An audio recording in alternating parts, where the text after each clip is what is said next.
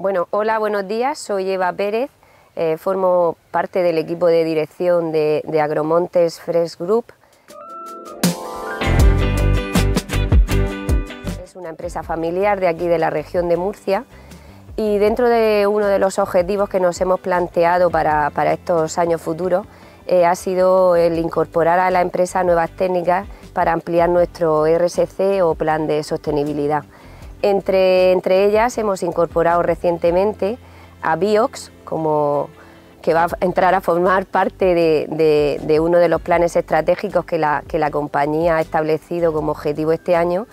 Y creemos que ha sido un acierto, ya que, ya que hemos notado grandes diferencias a la hora de, aplicar eh, no tanto el abonado en, el riego de, la planta, sino también en el ahorro que al final es lo que vamos todos buscando. Tenemos que, competir en, mercados muy competitivos, valga la redundancia, entonces tanto que buscamos sostenibilidad como reducir el impacto tanto de agua como de abonado y con Biox hemos encontrado ese equilibrio. Hemos llegado a ahorrar hasta un 20% de, de, agua en el, en el riego e incluso un 30% en el abonado del mismo. Desde Agromontes, en un primer momento, apostamos por Biox en, nuestro semillero.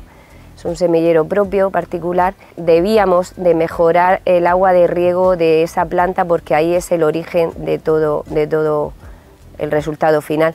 Eh, nos funcionó muy bien en semillero, notamos, como anteriormente he dicho, que reducimos la huella hídrica y la huella de carbono porque el abonado era inferior y entonces decidimos trasladarlo también a nuestras plantaciones.